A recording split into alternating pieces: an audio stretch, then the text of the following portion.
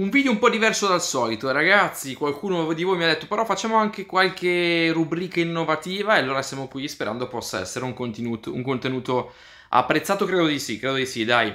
Saranno, vedrete anche foto, immagini, dunque rimanete lì. Vi invito prima a lasciare un bel like qui sotto e iscrivervi sul logo di Milanello, fatelo numerosissimi, mi raccomando. Non solo, in apertura vi invito a scaricare anche l'app di numero 10 gratuita qui, tra breve saremo presenti noi di Milanello e tra chi la, la scarica da questo link uno vincerà la maglietta del Milan della prossima stagione. Scatenatevi ragazzi. Allora, allora, allora, eh, partiamo subito eh, è chiaro che il calciomercato in estate la fa da padrone. E sui giornali il 90% è tutto calciomercato, nelle trasmissioni TV il 95% tutto è calciomercato. Su Milanello c'è tanto calciomercato ovviamente, ma oggi ci distinguiamo un po', andiamo a sottolineare alcuni aspetti e a breve vedrete anche delle foto perché ovviamente il eh, calciomercato è propedeutico, è una squadra più forte al campo, che è poi la cosa più importante, no? vincere sul campo, provare a ripetersi, vincere un altro campionato, vincere la seconda stella che sarebbe molto importante anche perché lo faremo prima dei nostri cugini rivali che già saporavano la stella ma era di cartone alla fine della scorsa stagione. Intanto alcuni bravi e giocatori che sono arrivati prima hanno accorciato le vacanze, hanno già lavorato nei giorni liberi, come Calulo Milanello, Domenica, Florenzi che è arrivato prima, Tonali due giorni prima, significa che abbiamo un gruppo sano, motivato, che vuole non adagiarsi su una vittoria ma alzare ulteriormente l'asticella. Sono segnali, possono essere banalità, secondo me no, e quindi vanno, vale la pena sottolinearli. Mi è piaciuto molto ad esempio anche Messias che eh, ha detto ringrazio Signore per poter continuare il mio lavoro in questo club e quando tu lo dici e perché lo pensi, Messias non è uno che dice cose tanto per buttare fumo negli occhi ai tifosi, ma perché davvero si sente fortunato. E quando ti, ti senti onorato a vestire una maglia, allora davvero dai il 101%. Messias che l'anno scorso era stato condizionato un po' da una preparazione molto approssimativa fatta a Crotone, ci ha messo un po' a carburare, poi si era fatto male, poi ha dato un contributo comunque di 5 gol eh, un assist importantissimo quello a Leao, non banali, sperando che quest'anno se resterà potrà dare ancora di più, non credo da titolare appunto. Ho visto cose come Rebic che arriva prima a Milanello, arriva il giorno prima, dorme lì rispetto al raduno del 4, arriva al 3, eh, l'ho visto anche motivato e tirato in allenamento. Guardate, questa è una foto di eh, Rebic che mi sembra a livello atletico decisamente in condizione. L'ho visto anche con i miei occhi al di là di questa foto.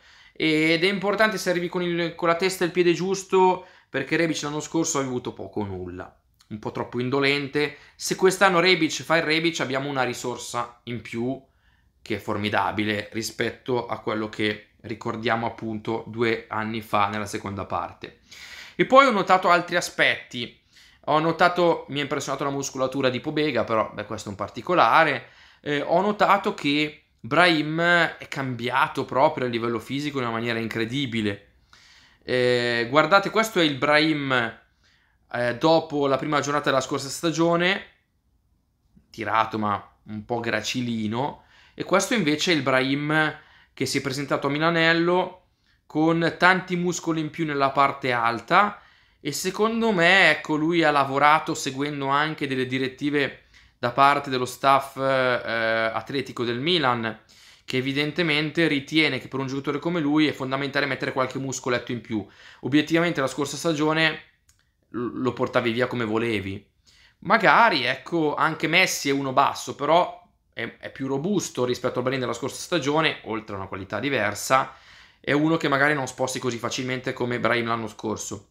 Questi muscoli secondo me non sono casuali, ma sono proprio indicativi della volontà di migliorarsi rispetto a un deficit fisico che aveva la scorsa stagione. Guardate appunto che differenza e, e i muscoli in più mm, possono essere appunto un'arma da sfruttare, o meglio, un limite in meno rispetto alla scorsa stagione. Non solo ho apprezzato molto la dialettica di Adli, quanto sia intelligente, uno che suona il pianoforte, che legge, lo sapevamo già. Eh, però, ecco, cose non, non, non scontate, non banali. Eh, è arrivato, vi faccio vedere un paio di frame, lui è andato poi una volta quando era allenarsi in palestra a raccogliere eh, l'acqua per tutti, ha preso 4-5 bottigliette, l'ha consegnata a Giroud, ad altri, Rebic non l'ha voluta, però ecco, è una cosa che, ripeto, non è banale, anche se può sembrare banale, ti fa capire che uno che è arrivato in punta di piedi, che si mette a disposizione del gruppo, sa che deve fare sacrifici, che prova a farsi voler bene anche in questa maniera e rispetto a un mondo dorato di ragazzini che si montano perché vanno al Milano, perché giocano in Serie A, questo è uno che dimostra ulteriormente anche da queste cose che ha la testa sulle spalle, che è umile. L'umiltà è qualcosa che lo può portare davvero molto lontano e quindi chapeau. E poi è fondamentale anche quando arriva un giocatore nuovo farselo sentire subito a casa, no? Ho apprezzato questo post di eh, Tonali che pubblica la foto di Adli in allenamento e scrive Sandro Adli o Yassin Tonali perché c'è una eh, analogia, c'è una somiglianza, di primo acchito sembrano uno l'altro, l'altro l'uno e, e tagga appunto Adli. È casuale, però sai, è anche un modo per iniziare a farti sentire vicino a questa persona che è appena arrivata, giovane, molto giovane, che può avere difficoltà di inserimento.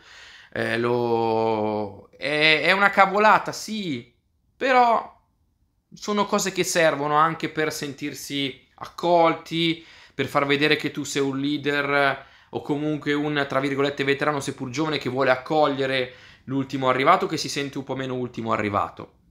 E poi eh, ho apprezzato molto, ma lui lo apprezzo incredibilmente da tempo, Giroud, che dice ho fatto il mio lavoro da fratello maggiore quando è arrivato Righi, e quindi l'ho accolto, l'ho fatto sentire eh, subito a casa, eh, l'ho aiutato nelle faccende, diciamo, di organizzazione, l'ho aiutato a conoscere Milano e anche Milanello. E quindi bene, anche perché sono uno rivale dell'altro, tra virgolette, rivale, eh, si giocheranno il posto. E quando uno con cui ti giochi il posto ti accoglie in quella maniera lì è molto bello. Su Giroud, ragazzi, mi ha colpito un paio di frasi. La prima, lui dice: Voglio essere ricordato dai tifosi del Milan come un buon giocatore e una brava persona. Ragazzi, io dico sempre che si guarda sempre prima all'uomo del calciatore. E lui è una brava persona, lo dicevo da tempo, mi aveva colpito, lo, lo vedi che è una brava persona, come lo stesso Kier, no? E, e, quando un giocatore dice spero che mi ricordino come calciatore, ma anche una brava persona, ragazzi, è, è una cosa che secondo me deve rendere orgogliosi i tifosi rossoneri. Poi lui ha detto altre cose da milanista con la M maiuscola. Ha detto che in doccia canta i campioni dell'Italia siamo noi, che l'ha insegnato ai suoi figli, che ha insegnato anche più Alison Fire ai suoi figli, che ha insegnato la canzone che cantano per lui i tifosi, siamo venuti qua su per vedere segnare Giroud. È un milanista, ripeto, quando tu entri eh, e sposi pienamente il, pioge- il, progetto, lo fai vedere anche in queste cose qua. A me piace tantissimo come persona, come calciatore, sono sempre stato sul calo, caro di giro anche quando eravamo in pochi, ha fatto gol pesantissimi, ma poi è uno, ripeto, che nello spogliatoio ci vuole. Queste persone sono leader anche se magari non alzano la voce, appunto, non serve alzare la voce. C'è bisogno di, di, di bei personaggi, di belle persone e di milanisti, perché lui, anche se qui da un anno, è un grande milanista ho voluto sottolineare un po' questi aspetti dei quali si parla un po' poco in un video un po' alternativo, che però, ecco, credo possa distrarre rispetto alle tensioni del calciomercato per una decina di minuti e far apprezzare un po' di più anche quello che c'è già. I giocatori che ci sono, il progetto, i giocatori che, che vivono già quotidianamente Milanello, i nuovi che si fanno voler bene e i vecchi che cercano di far ambientare anche i, i nuovi non è casuale e, e mi è piaciuto appunto eh, sottolinearlo in questo video. Anche Orighi si è presentato in maniera molto bella per come parla. E io credo che sia un gruppo sano che ha elementi ulteriori per, per, competere. Ovviamente poi ci sarà il calciomercato al quale dedicheremo tanti video che dovrà portare anche altri valori tecnici per alzare il livello e per provare a vincere la seconda stella. Ho, ho, fatto un video alternativo, spero possa essere apprezzato. Nel caso lasciate un bel like qui sotto, iscrivetevi qui, attivate la campanella. Vi invito anche a scaricare gratuitamente nel link qui sotto l'app di numero 10. Uno di voi vincerà la maglia del Milan della prossima stagione che inizierà a breve. Vi mando un abbraccio ragazzi e ho divagato rispetto al calciomercato, grandi, grandi tutti questi qui. Sperando ci possano essere altre belle storie da raccontare o altri particolari, aneddoti, sfumature che non sono sfumature comunque, che alla fine fanno la differenza. Vi mando un abbraccio, forza Mina oggi più che mai, domani ancora di più. Ciao!